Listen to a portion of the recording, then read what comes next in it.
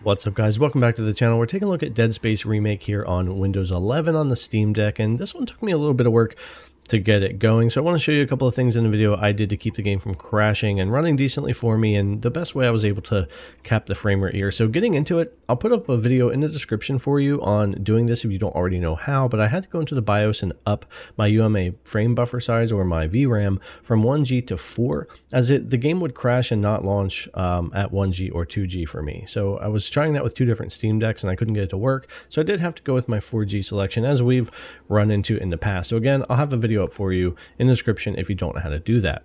Now in our graphics settings, we're 800p, 60 hertz here with no VSync on at the moment, and full screen. And then we're going to be motion blur and film grain off with low on all the settings for the most part, no variable rate shading, and FSR is going to be at performance. This is very similar to how we ran the game over on Steam OS, although for the most part there's a lot of areas that do run better over there, but Windows is running decently as well. Now getting into here with the frame rate not capped or anything, and things aren't too bad. Now we do get more stutter and issues in load-in areas. I am running off the internal SSD.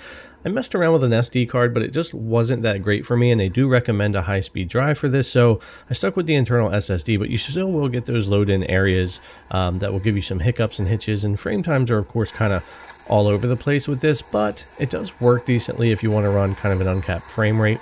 With the dips you get in the game, I don't think you would hold a steady 40 FPS all the time in the game, but you could lock it to 40 with uh, RTSS, which we're going to do for 30 here in a minute, or as I'm going to do, lock it to 30 FPS and get a decent experience with Dead Space as well. But performance here, surprisingly, not too bad considering what we were dealing with and how I had to get the game running initially. So all in all, wasn't too unhappy with that. Now, if I jump over into using the game's in-game um, 30 hertz cap, so capping this to 30 FPS in-game, it doesn't work that great. And that's kind of my gripe a lot of times about in-game FPS um, caps because they don't always work as well as other methods. Some games do a pretty good job of it, but some don't, and Dead Space doesn't necessarily hold that steady frame time you would want when you're capping the 30 FPS, and that's with or without VSync or anything like that. It's kind of going to be all over the place from, who knows, 26 to 40 some millis, uh, milliseconds. So it's not that 33.3 that you would typically see at 30 FPS. And going into these same scenes, performance is great and gameplay feels pretty decent. I can tell there's a little bit of difference going on, some little hiccups here and there with that. But for the most part, it's decent and it's working, but it's not quite the performance that I was going for. So I'll have a video for you in the description as well for this using Rivatuner to cap the FPS, but I've chosen the Dead Space EXE here. I'm going to cap to 30 FPS and that's going to be a little bit better for us. Again, I'll have a video in the description. I have a tutorial how to do this if you don't already know how. So we'll go back into our settings, turning off VSync using all the same settings.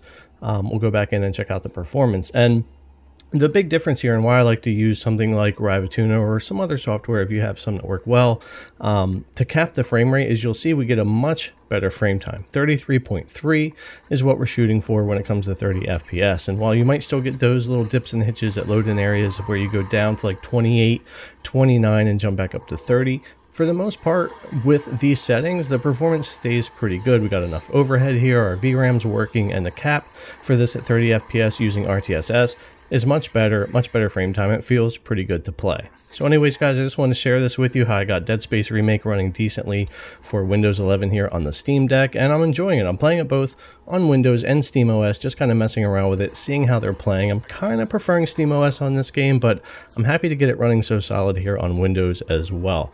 But anyways, guys, thanks a lot for coming to check out the video as always. I hope it was helpful, and I'll see you guys in the next one.